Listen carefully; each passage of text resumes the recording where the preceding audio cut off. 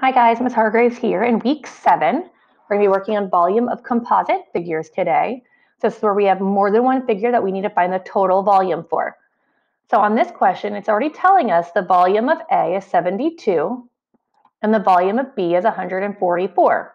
So I want to know the total volume. To find the total, we'll add those two numbers. So 144 plus 72.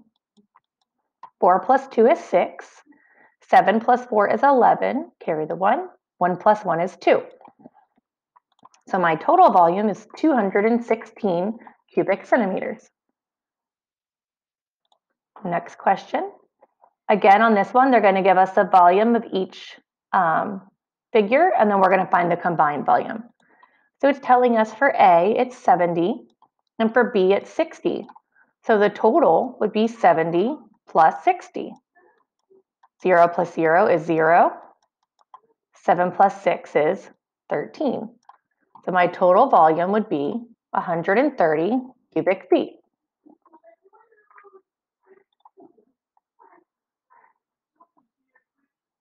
On this one, we're figuring out the volumes of each shape on our own and then combining them. So the volume for A, remember volume is length times width times height.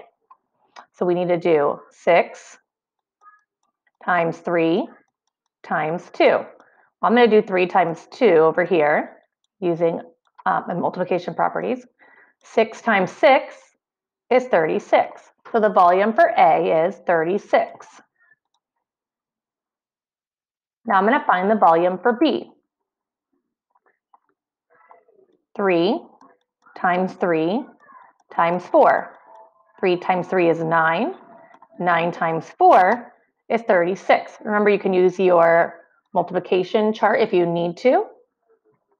So now I have 36 for A and B. Wants us to find the missing height of this figure. So looking here, we're trying to figure out this height, right, where the question mark is. If I know this whole thing is 15 and up to here is 10, right? So up to here is 10. But this whole thing is 15. 10 plus, what would give me 15? Well, 10 plus 5. So this would be 5.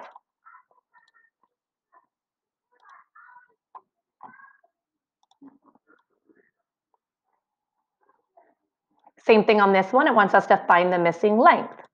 So the whole thing is 8. I know we have 3 and 3. So 3 and 3 is 6, but the whole thing is 8. So then 8 minus 6 would be 2. Now if I added 3 plus 2 plus 3, I would have 8. So we're going to put in a 2 here. All right, guys, and that's actually it for this quiz. If you have any questions, feel free to reach out to your classroom teachers or one of the resource teachers, and we are here to help you with anything you need. All right, guys, have a great week seven.